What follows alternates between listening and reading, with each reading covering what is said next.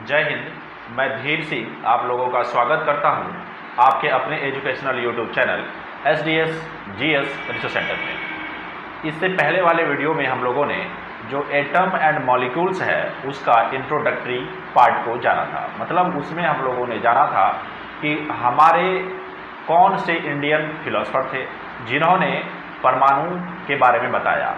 और परमाणु के बारे में क्या बताया? कि परमाणु क्या होता है? इंडिविजुअल है।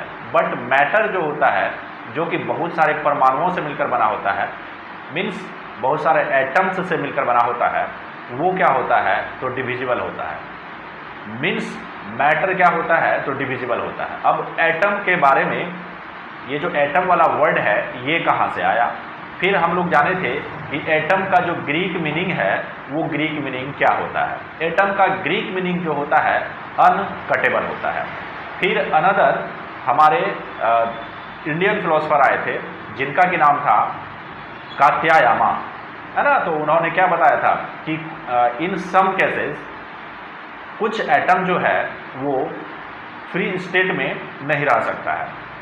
तो आज जो हम लोग जानेंगे उसके आगे वाले पार्ट को जानेंगे। अब जैसे देखिए कि कात्यायामा ने कहा, कहे थे कि कुछ केसेस में जो होता है एटम्स फ्री स्टेट में नहीं रह सकता है। वो कंबाइंड स्टेट में रहेगा। तो उसी को हम लोग कंपाउंड बोलते हैं। उसी को क्या बोलते हैं? कंपाउंड बोलते हैं या मलिक्यूल्स बोलते हैं। अब आज के इस वीडियो में हम लोग जानेंगे कि वो जो कंबाइन होता है मतलब एटम जो एक दूसरे से क्या होता है कंबाइन होता है तो वो कुछ लाव के अंदर अंतर्गत क्या होता है? तो कंबाइन होता है। अब वो लाव क्या है? अब उस लाव के बारे में जानेंगे हम लोग। अब वो लाव दो प्रकार का है। हालाँकि वो लाव तीन प्रकार का है थ्री टाइप्स का है, लेकिन हमारा जो ये नाइन्थ क्लास है, इस नाइन्थ क्लास में हम लोगों को ओनली टू ही लॉज के बारे में पढ़ना है। तो इसमें हम तीसरे लॉज के बारे में चर्चा नहीं करेंगे, जो कि हमारे हायर क्लास का है थर्ड वाला लॉ बस दो ही लॉज का चर्चा करेंगे। तो देखिए एटीन सेंचुरी से पहले की अगर बात करें तो एटीन सेंचुरी से पहले क्या हो रहा था कि जो भी चीज़ के बारे में हमारे फिलोसफर बता रहे थे, बस उसके बारे में क्या कर रहे थे, वो फिलोसफी कर रहे थे। इसके लिए कोई पुख्ता उसके पास में एक्सपेरिमेंट नहीं था। मतलब एक्सपेरिमेंटल प्रूफ उन लोगों के पास में नहीं था, बल्कि बस वो क्या करते थे तो फिलोसफी देते थे। बट एटीन सेंचुरी के लास्ट तक आते आते बहुत सारा ऐसा एक्सपेरिमेंट एक्सपेरिमेंटल प्रूफ हो गया कि यस ये जो परमाणु होता है एंड मैटर डिविजिबल होता है। है ना? फिर जैसे कि बताया गया था कि ये जो हमारा एटम है, ये इनडिविजिबल होता है मतलब अनकटेबल होता है। लेकिन बाद में बहुत सारे साइंटिस्ट आए जो कि इस पर काम किए, काम करने के बाद बताया कि नहीं एटम को भी हम लोग फर्दर डिवाइड कर सकते हैं, जो कि इलेक्ट्रॉन प्रोटॉन न्यूट्रॉन इसी चैप्टर में हम लोग आगे उसके बारे में पढ़ेंगे। अनदर साइंटिस्ट ने जो उसके बारे में बताया था। तो अभी तक में हम लोग कितने साइंटिस्ट के नाम जान चुके हैं? हालाँकि साइंटिस्ट नहीं बोलिए, कितने फिलोसफर के नाम जान चुके हैं। तो उसमें जो सबसे पहला हम लोगों ने जाना था, महर्षि कनान। और दूसरा जो जाना था तो डेमोक्रेटस एंड ल्यूसिपस और थर्ड के बारे में जो जाना था, वो कात्यायामा थे। है ना? तो आज हम लोग जानते हैं कि एटीन सेंचुरी के बाद जो एक्सपेरिमेंटल प्रूफ हुआ, उसमें क्या होता है कि एटम कंबाइन होता है, इस चीज़ का प्रूफ हुआ और वो उस लाव को जानेंगे, जिस लाव के अंतर्गत वो कंबाइन होते हैं। तो इसमें दो लाव है। एक पहला जो लॉ है हमारा law of conservation of mass मतलब इसमें जो है law of conservation of mass में हम लोग जानेंगे कि मास को ना तो हम लोग क्रिएट कर सकते हैं और मास को ना ही डिस्ट्रॉय कर सकते हैं। अब देखिए जैसे यहाँ पर लिखा हुआ है कि mass can neither be created nor destroyed मतलब मास को हम लोग ना ही क्रिएट कर सकते हैं, ना ही डिस्ट्रॉय कर सकते हैं। तो किसमें? तो इन केमिकल रिएक्शन केमिकल रिएक्शन की बात हो रही है यहाँ पर ध्यान देने वाली बात है कि केमिकल रिएक्शन में मास को आप ना ही बढ़ा सकते हैं, ना ही मास को डिस्ट्रॉय कर सकते हैं। मीन्स मास को ना ही आप ख़त्म कर सकते हैं। है ना? लेकिन अगर न्यूक्लियर रिएक्शन की बात करें केमिकल रिएक्शन नहीं बल्कि अगर न्यूक्लियर रिएक्शन की बात करें तो क्या होता है? उसमें मास का डिस्ट्रक्शन होता है, जिसको कि हम लोग E बराबर एम सी स्क्वायर से जानते हैं। क्या? E equal to M C square से जानते हैं। अब जैसे मान के चलिए ये मास है, हमारा ये क्या है? मास है।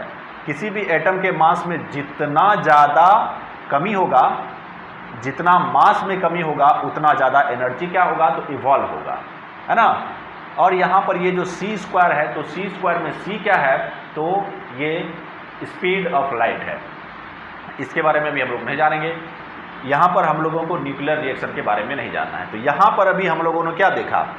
कि केमिकल रिएक्शन में मास को हम लोग ना ही क्रिएट कर सकते हैं, ना ही उसको डिस्ट्रॉय कर सकते हैं। जैसे कि यहाँ पर देखिए total mass of reactant and total equal to total mass of product अब ये रिएक्टेंट एंड प्रोडक्ट के बारे में जानते हैं। रिएक्टेंट क्या होता है? जैसे देखिए सपोज़ करिए कि ए एक एलिमेंट है और ये बी एक एलिमेंट है।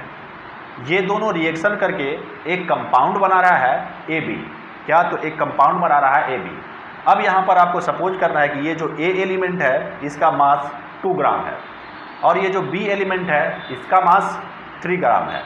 अब ये दोनों केमिकल रिएक्शन करके जो कंपाउंड बना रहा है ए बी और ये हो जाता है आपको फाइव ग्राम कितना तो फाइव ग्राम तो देखिए, इन दोनों को इधर प्लस के लिए टू प्लस थ्री कितना हो गया तो फाइव इधर भी ये क्या है? तो फाइव ग्राम तो देख रहे हैं, दोनों तरफ़ मास में कोई अंतर है क्या? बिल्कुल भी नहीं। तो इस तरह से हम लोग कह सकते हैं कि ये जो law of conservation of mass क्या चीज़ के बारे में बताता है? तो मास का कंजर्वेशन के बारे में बताता है। मतलब मास संरक्षित होता है। अब ये ला को दिए किन्होंने? तो इस ला को दिए एंटोनी लेबोजियर ने। अब देखिए, ये तो था, हम लोग प्रैक्टिकल रूप से पढ़ रहे हैं थियोरेटिकल रूप से पढ़ रहे हैं। अब थोड़ा सा कॉमन सेंस की अगर हम लोग बात करें, जैसे सपोज़ करिए कि आपके पास में जो कॉपी है, या सपोज़ करिए कि आपके पास में कोई लकड़ी है छोटा सा एक लकड़ी ले लें, इतना सा लकड़ी ले लें, ठीक है? उड ले लें। उस उड को क्या करना है? आपको वेट कर लेना है। मतलब उसको नाप लेना है कि उसका कितना वज़न है, कितना वेट है। सपोज़ करिए कि आपने, सपोज़ करिए कि मैं क्या करता हूँ, ये जो डस्टर है, इस डस्टर को मैं मेजर कर लेता हूँ। मेजर करने के बाद इसका जो वेट आता है, सपोज़ करिए 250 ग्राम आता है। कितना आता है? 250 ग्राम। अब इस डस्टर को मैं क्या करता हूँ तो बर्न कर देता हूँ मतलब जला देता। जला देने के बाद इसका मास देखते हैं 100 ग्राम हो जाता है। मतलब 150 ग्राम इसका मास कम हो गया। अब किसी भी चीज़ को जलाना, क्या होता है? एक तरीके का केमिकल रिएक्शन ही होता है। है ना? हम लोगों ने पढ़ा है ना? Physical change and chemical change उसमें पढ़ा था, किसी भी चीज़ को जलाना क्या होता है? मतलब अगर कहीं पर केमिकल रिएक्शन हो रहा है तो वो केमिकल चेंज है। या आप ऐसा भी बोल सकते हैं, कहीं पर केमिकल चेंज हो रहा है जैसे आम अगर पक रहा है, जो मैंगो होता है, वो अगर क्या हो रहा है, पक रहा है तो इसका सीधा सा मीनिंग है, उसके अंदर में क्या हो रहा है तो केमिकल रिएक्शन हो रहा है। तो यहाँ पर क्या हुआ, ये इस डस्टर को हमने जलाया तो जलाने के बाद ये क्या हो गया, इसका वेट कम हो गया। मतलब केमिकल रिएक्शन हुआ, लेकिन अभी जस्ट हम लोगों ने क्या पढ़ा था, कि मास को ना ही हम लोग क्रिएट कर सकते हैं, ना ही डिस्ट्रॉय कर सकते हैं। तो अगर प्रैक्टिकल रूप से देखें तो प्रैक्टिकल रूप से ये तो क्या हो रहा है? गलत हो रहा है, लेकिन ऐसी बात नहीं है। जब आप इस डस्टर को जलाएँगे तो इसमें कार्बन मौजूद होगा। जलाने पर क्या होता है? वो जो कार्बन होता है, वो जलता है। जलने के साथ ही वो बाहर निकलता है। कहाँ? इन्वायरमेंट में निकलता है। और ऑक्सीजन के साथ में मिलकर कार्बन डाइऑक्साइड बना लेता है। क्या बना लेता है? तो कार्बन डाइऑक्साइड अब जैसे जैसे जलते जाएगा, इससे जो कार्बन निकलकर, कार्बन डाइऑक्साइड बनकर वो हमारे इन्वायरमेंट में स्प्रेड होते जाएगा मतलब फैलते जाएगा। तो इस तरह से इसमें जो बहुत सारा कार्बन निकल जाएगा तो इस कार्बन, इसमें सपोज़ करिए कि बिलियंस ऑफ़ कार्बन होगा, है ना? बिलियंस ऑफ़ कार्बन अगर निकल जाएगा, उसमें से एक कार्बन का कुछ ना कुछ तो वेट होता है। अब बिलियंस ऑफ़ कार्बन निकला तो बताइए वेट तो कम होगा ही ना। वही वेट आपको यहाँ पर ये 150 ग्राम जो कम हुआ है 150 ग्राम वेट जो कम हुआ है, क्यों कम हुआ? अब आपको पता चल गया होगा। लेकिन अगर आप किस, किसी भी प्रोसेस से उस कार्बन को आप क्या कर पाते, किसी चीज़ में बंद कर पाते तो और इसका राख और वो कार्बन जो आप किसी चीज़ में अगर बंद कर पाते, दोनों को अगर वेट करते मिलाकर तो आपको इसका वेट मिलेगा 250 ग्राम। और इस पर बहुत सारा एक्सपेरिमेंट है। इसको आप अपने बुक्स में पढ़ सकते हैं। अब देखिए यहाँ पर सेकेंड वाला जो लॉ है हमारा law of definition definite proportion law of definite proportion और क्या है? उसी लॉ ऑफ़ डिफिनिट प्रोपोर्शन को हम लोग जानते हैं। अनदर नाम से लॉ ऑफ़ कॉन्स्टेंट प्रोपोर्शन अब इसके बारे में मतलब कांस्टेंट प्रोपोर्शन या डिफरेंट प्रोपोर्शन इसका मीनिंग तो सेम है। अब जैसे देखिए, आप क्या करिए वाटर को लीजिए। आप चाहे अमेरिका से वाटर को लीजिए या साउथ अफ्रीका से वाटर को लीजिए या हमारे इंडिया से वाटर को लीजिए। जो भी वाटर होगा, वो सेम एलिमेंट से मिलकर बना होगा। मतलब हमारा जो वाटर है, वो कौन कौन से एलिमेंट से मिलकर बना होता है?